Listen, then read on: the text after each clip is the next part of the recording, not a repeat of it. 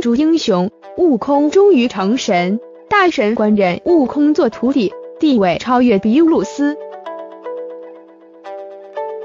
在龙珠英雄的情报中，悟空终于成神了。这一刻，悟空应该等待很久了吧？其实，悟空成神早就有很多的暗示，比如在龙珠超中，比鲁斯睡醒后想要找到那个超神赛亚人，那时候的悟空还是赛亚人，根本就还没接近神这个说法。直到众人把力量给到了悟空之后。才发现超越赛亚人还有这样的境界。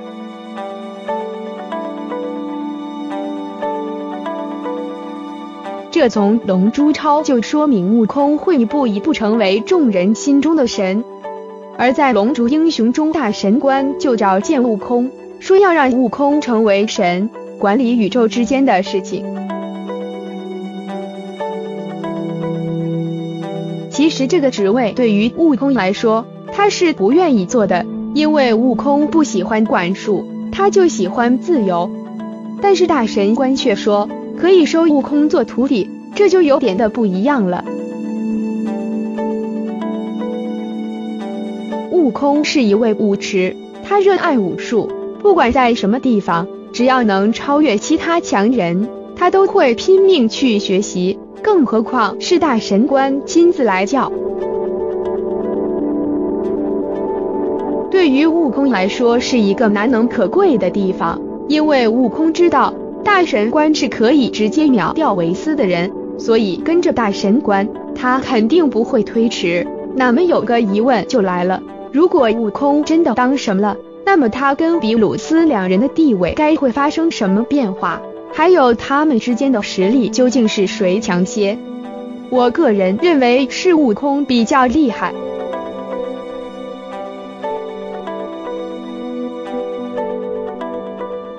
先从地位说起，悟空是直接被大神官收徒弟的，而比鲁斯只不过是维斯的人。从阶级来看，悟空是超越了比鲁斯的，毕竟大神官比维斯要高一级。再来看看双方的实力，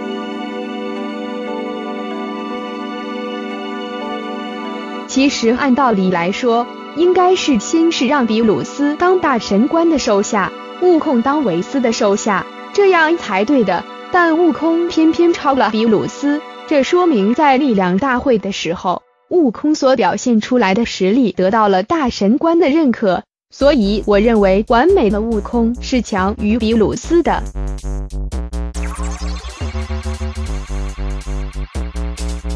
再者说，大神官是接近拳王的人，他的实力自然毋庸置疑。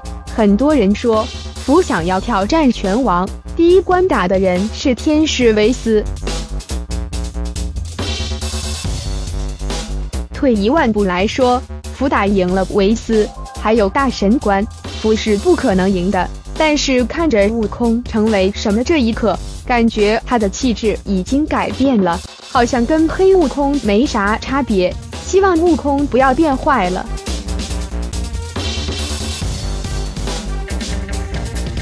这应该是神族以来第一次破例吧？悟空只不过是赛亚人，居然能当上神，这就是悟空的魅力，也是带领第七宇宙继续生存的模样了。之后龙珠超的剧情恐怕会被龙珠英雄给带偏了。